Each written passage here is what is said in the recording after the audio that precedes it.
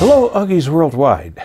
I'm Dave Casler, amateur radio call sign KE0OG, here with another episode of Ask Dave. Today's question comes from Dan Evander, KJ7YBK. And he asks this I live in a duplex condo situation and can string an HF antenna following the roof line. And I have many other options as well. I have had my general license for only a few months and will be getting an HF rig soon. I watched a video on the broadband butterfly terminated dipole, which intrigued me. It seems to be having a vogue right now. I've seen uh, comments on this antenna in multiple places. Um, I understand that I would need a 16-1 balun on one end and a 1000 ohm, approximately 200 watt resistor on the other end. What are your thoughts on putting something like this on the roof? Um, and uh, let's uh, let's just go out to where we can see the entire uh, whiteboard and see what he's talking about. He's got a terminated dipole.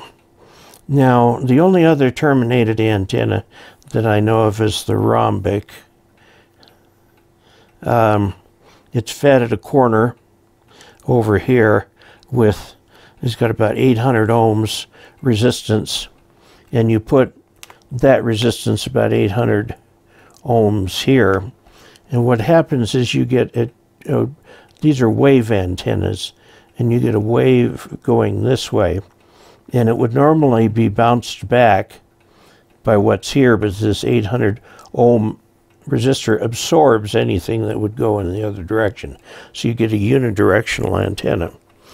Um, the fact that there is a resistor in this antenna, I mean, you've got, and, and this gets complicated based on the, um, phasing of the different parts of it. You've got an antenna that somewhere in it has got a resistor. Okay, that resistor is going to dissipate heat. And that means that is energy that will not be transmitted. It's just going to be dissipated as heat. Um, I have heard many good things about that dipole. Uh, so if you want to put it up, fine. I'd be very curious about your results with it. Now, you mentioned that you're in a condo. It's a duplex. And there are two homes in the duplex, okay, half of which is yours. And I presume the covenants are written in such a way that you can put up antennas on your half.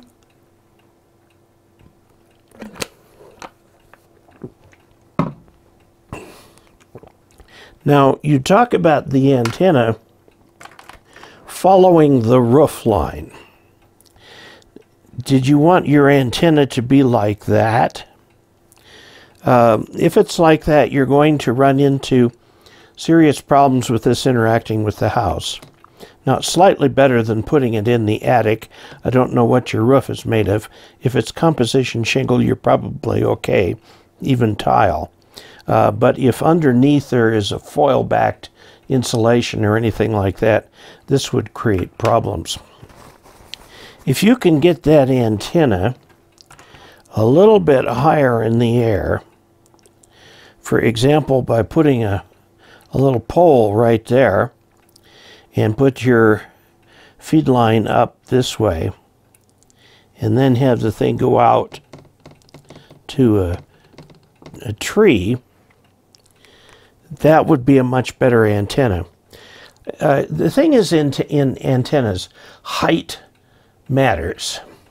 And it's important to get the antenna up in the air, at least some. Um, you can also use, if you don't have a handy tree, you get two um, chain link fence top rail pieces and they fit into each other. And you get that about 20 feet high. You'll have to guy it but then you can bring the antenna down to that. And uh, I don't know where that particular antenna is fed. I'll have to try one one of these days. Maybe someone can recommend to me a brand name that I should get to uh, to try it. There are sufficient uh, channel funds that I can just buy the antenna without asking for a freebie from the manufacturer. Um, so I hope that helps answer that part of the question. Um, now the the radiation of this thing is going to be mostly this way. Um, if this is the start of the antenna and this is the terminated end here. So you're going to get more of a pattern. It'll be probably a cardioid pattern that you would get out of it. Uh, let's see. What are your thoughts on putting something like this up on the roof? Well, again, height matters. Uh, another antenna that goes up well is the uh, my antennas and end-fed half wave and they've got an 8010 and a 4010 and these have gray wires that are quite hard to see so you can put the thing you know if you put this toward the back of the house then it's harder to see from the from the street and can be quite hard to see where the uh, antenna goes out. That end-fed half-wave antenna uh, is a dipole, and you can do all the things with it you can do with a regular dipole, such as make it an inverted V, make it um, a uh, L shape, uh, just a straight out type of a dipole, uh, sloper, all kinds of things that you can do with it. Where you feed a dipole doesn't really have much to do with uh, how you treat it as a dipole.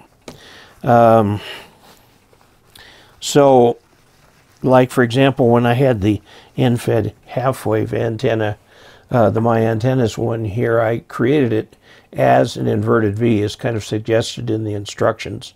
And although it was uh, end-fed quite near the ground, uh, it worked great.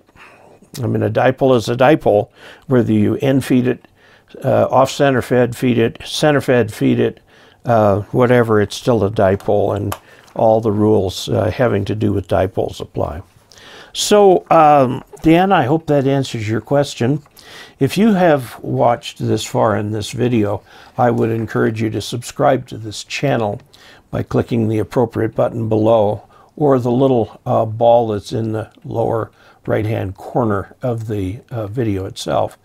That will subscribe you to the channel. In addition, if you'd like, you may click the bell, which will get you however you get YouTube notifications. You don't get emails anymore. I used to get an email, that was nice. Some of my more obscure channels that I um, subscribe to don't post that often, and now I miss them entirely because YouTube doesn't use email. Um, but there are other ways that you can be notified. The, the key thing about subscribing to the channel is that it is your vote of confidence in the channel itself. And you're telling YouTube you think this is the kind of channel that it should share with like-minded people. And uh, that would be ham radio operators and um, makers and stuff like that. So uh, also, if you would like to help support this channel financially, you certainly can by going to dcasler.com slash support. There are a number of the ways there that you might like. Until we next meet, 73.